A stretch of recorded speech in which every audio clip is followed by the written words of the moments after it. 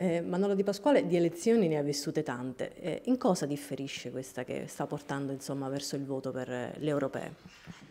Intanto diciamo che il voto europeo è un voto molto importante in quanto questa tornata elettorale che si sarà nelle giornate dell'8 e del 9 giugno è uno spartiacque tra coloro che vogliono un'Europa più forte, solidale, che guardi anche verso la pace ma che abbia più politica, più attività politica e chi invece vuole più nazioni e meno Europa ed è diciamo, le famiglie conservatrici in cui ritroviamo il nostro centrodestra italiano. Riteniamo che invece l'Europa debba aumentare le proprie competenze per cui è una, un progetto del PD Che io condivido pienamente e per il quale mi sento di combattere e portarla avanti per tutto il meridione.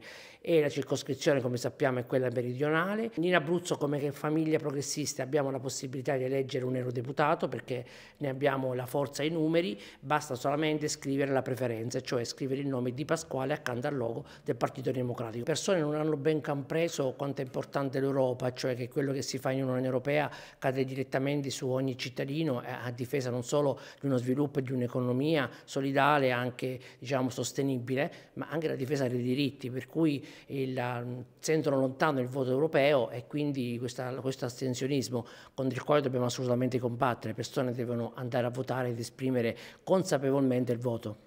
Eh, cosa può portare un abruzzese, una teramana e un'Europa? Quali valori vuole portare del Partito Democratico? Intanto l'Abruzzese è testarda, quindi sicuramente eh, combatterà per quello che sono diciamo, le problematiche più europee, ma anche poi attenzionare con un occhio di riguardo al nostro, ter nostro territorio. È importante andare a votare, ricordiamolo.